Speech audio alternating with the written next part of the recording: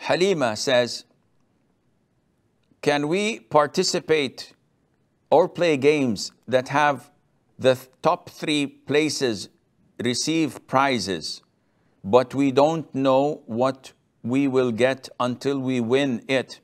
And games where you pick a random box out of a few boxes and you get whatever is in it, the gifts in the boxes can vary from very expensive to rare uh, or rare to cheap from one box to the other.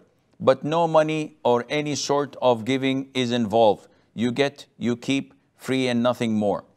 I don't know of such a game. But it seems to me that this game is done within the family because it's not logical to have a public game as such and giving gifts away for no reason. If this is on telly, on the TV, then this must include women, music, and many other haram things, so participating in it is totally prohibited. End of story.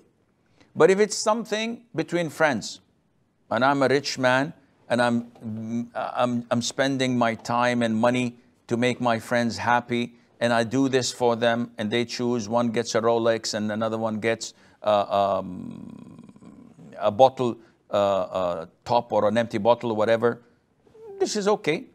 Providing there's no haram involved, providing the participants did not invest or pay a single dime, nor to participate as a subscription, nor as a payment for the app to be downloaded.